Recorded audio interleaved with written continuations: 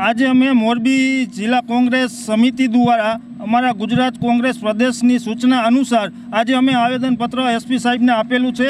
આ આવે, આવેદનપત્રમાં અમારા વિપક્ષના નેતા જે રાહુલ ગાંધીજી ઉપર આ ભાજપના અને સાથી પક્ષોએ જે ટિપ્પણી કરેલી છે. એના વિશે અમે આવેદન આપેલું છે. ભાજપના નેતાઓ ખોટો બફાટ કરી રહ્યા છે. રાહુલ ગાંધીને આતંકવાદી એક નંબરના આતંકવાદી કહી રહ્યા છે. અને હત્યા કરવાની પણ વાત કરેલી છે.